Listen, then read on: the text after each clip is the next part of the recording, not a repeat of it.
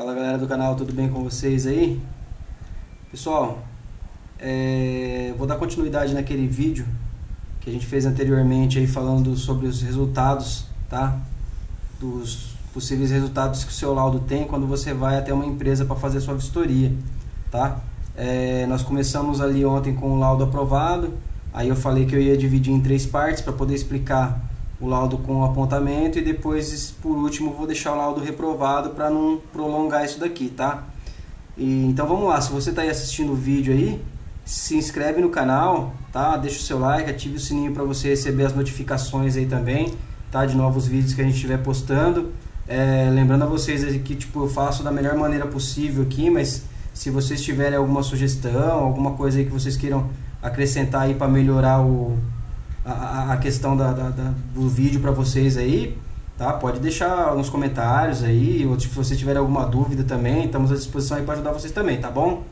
Então, vou fazer um resumo do que a gente deixou ontem para vocês aí. Se você caiu de paraquedas direto no laudo com apontamento e você quer ver o laudo aprovado, rebobina a fita, vê a fita, vê o, o vídeo anterior para vocês aí, tá? Eu também estou sempre deixando aí nas sugestões dos vídeos, tá? O laudo aprovado, laudo com apontamento e vou deixar o do reprovado também, depois eu vou editar e deixar sugestões aí. Então se você quer ver o laudo aprovado, eu vou deixar a sugestão, está no apontamento, ou se você quiser ver os três, se for um pouco mais curioso, quiser entender um pouco mais essa questão do, do resultado dos laudos, assiste os três também, vai estar tá aí para você disponível também, tá bom? Hoje a gente vai falar aqui do laudo com apontamento. Só para dar uma relembrada para vocês, gente, sempre aqui no cabeçalho sai o resultado do seu laudo, Embora esteja escrito aqui laudo de transferência de município, isso serve para vários tipos de situações, tá? Para vários tipos de processo que você queira fazer, é, não só da transferência, mas por exemplo, é, lacração de veículo, você quiser fazer uma segunda via de CRV ou de CRV, é o mesmo laudo para tudo, tá? Você está regularizando o kit gás aí, porque você tem que fazer dois laudos, além de você fazer o laudo do Inmetro, você também tem que fazer esse daqui também para poder colocar junto lá, para poder fazer a mudança lá no documento. Então ele serve para várias finalidades, tá? Aí aqui eu expliquei no laudo anterior que os dados do proprietário é sempre o que está atualmente no sistema do Detran, então puxa direto. Quando a gente digita Renavan e placa do seu carro, esses dados já vêm automaticamente do Detran, tá? O que é coletado, motor, chassi, quilometragem lacre, fotos obrigatórias que o Detran determina é o que é anexado no seu laudo. Uma vez que o Detran confere com o que a gente digita que está no veículo, estando tudo ok, ele devolve aprovado para vocês. O apontamento, no caso, sim, ele é feito pela ECV no ato da vistoria, tá? Seja ele qual for, eu vou explicar para vocês aí logo em seguida. Aqui embaixo sempre vão ter os dados da empresa credenciada que fez a vistoria para vocês junto com os dados do vistoriador, lembrando que essa vistoria ela é eletrônica e ela é emitida e liberada através de biometria, tá gente, do vistoriador que fica cadastrado no Detran, não tem uma outra forma de ser liberado por, por segurança do próprio Detran, passou a ser feito tudo por biometria, tá? E aqui que vai ser a parte nova que não tem lá no laudo aprovado é o campo de observações onde a gente gera os apontamentos. E lembrando já, já vamos começar. Sempre que o seu carro tiver um apontamento, sempre vai ter uma folha, tá? Que vai estar tá em anexo, explicando para você qual que é o apontamento que foi gerado no seu laudo. Então, eu sempre oriento vocês, leiam o laudo, tá, gente? Leiam, confira, porque às vezes o seu nome pode estar errado lá dentro do próprio Detran, já aconteceu várias vezes da gente pegar o cliente ver na hora ali que o nome dele estava errado e vir questionar a gente falando que nós colocamos o nome errado. Na verdade, não somos nós. Né? Na verdade, o Detran envia esses dados para nós. Então, se está errado, já está errado lá dentro. Então, é bom você ver, para você já fazer essa correção lá no, no, no, Detran também, na hora que você estiver fazendo a sua, o seu processo lá. Tá? Então, vamos lá, gente. Resumos a parte aí. O que, que acontece com o laudo com apontamento? Ele, na verdade, não vai criar nenhum tipo de impedimento para você dar andamento no seu processo, tá? Então é importante você já ter isso em mente. Laudo com apontamento não te impede de fazer o processo que você quer fazer aí, seja ele qual for. O que normalmente, na maior parte das vezes, o laudo com apontamento vai causar para você é um custo a mais, tá? Infelizmente é isso que o laudo com apontamento vai fazer. Aí eu vou falar para vocês duas situações que normalmente acontecem e que geram apontamento. Uma ela vai gerar custo e outra não. Só que aí eu vou começar pela primeira e explicar para vocês. Uma das coisas que geralmente gera apontamento é a falta de etiqueta autodestrutiva no seu carro. O que, que são as etiquetas? Uh, tem um vídeo aqui no canal que explica isso também. Se vocês quiserem, eu vou deixar aí nas sugestões para vocês entenderem sobre os sistemas de identificação do seu veículo. Que isso são coisas obrigatórias que a gente tem que verificar e coletar no ato da vistoria, tá? Então, supondo que o seu carro não tenha essas etiquetas, ou se ele tem a ausência de uma delas ou mais, isso é gerado no apontamento. São três etiquetas, tá? Uma no compartimento do motor, uma no assoalho do veículo e outra no batente da porta. Ela tem metade do sequencial do chassi do seu carro, tá? Para vocês entenderem melhor. Mas se você for mais curioso, vai lá e assiste o vídeo que vai estar tá lá, sistemas de identificação, e você vai ficar mais por dentro desse assunto. Mas enfim, se tiver uma dessas etiquetas ausentes, vai gerar um apontamento no seu laudo. Esse tipo de apontamento não vai te gerar custo nenhum. Aí, uma curiosidade.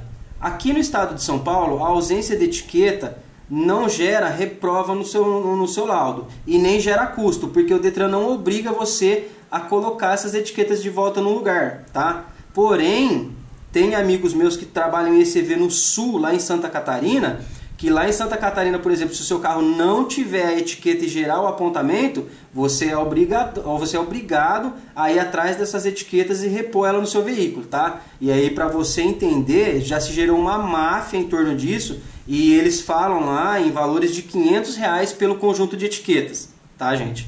Então é um negócio bem complexo. Mas se você tiver aqui no estado de São Paulo e dependendo do estado que você tiver, eu acredito que eles sigam o padrão daqui de São Paulo e acabem não te cobrando isso, uma vez que os demais itens do veículo de identificação estejam em ordem, que é gravação de vidro, numeração de motor, numeração de chassi. Esse é um dos motivos de apontamento que não vai te causar nenhum tipo de, de, de custo. Porém, a maior parte deles gera. Como, por exemplo, se você chegar para fazer a vistoria e você tiver com o lacre da placa rompido, se a sua placa estiver ilegível, se você já estiver indo fazer a vistoria, porque, uh, um exemplo, aqui acontece muito do pessoal roubar a placa dos veículos, placa dianteira. Então o pessoal rouba a placa dianteira, óbvio, aqui você só vai conseguir fazer a placa se você fizer uma vistoria. Vai gerar um apontamento e o custo da placa, ou o custo do lacre e assim por diante, tá? Uh, lembrando que esses tão, são dois exemplos que eu estou dando, mas existem vários tipos de apontamento, tá? Existem vários tipos. Alguns vão gerar custo para você e outros não vão gerar custo nenhum. Você vai dar andamento no seu processo normal. Independente de com custo ou sem custo, o apontamento não implica em você não conseguir dar andamento no processo. Isso que é importante de você ter em mente do laudo com apontamento, tá? Então, recapitulando, se você fez a sua vistoria, gerou um apontamento, primeira coisa, se você não quer ler o laudo, questione sempre a empresa onde você está fazendo a vistoria. Tá, mas qual que é o apontamento?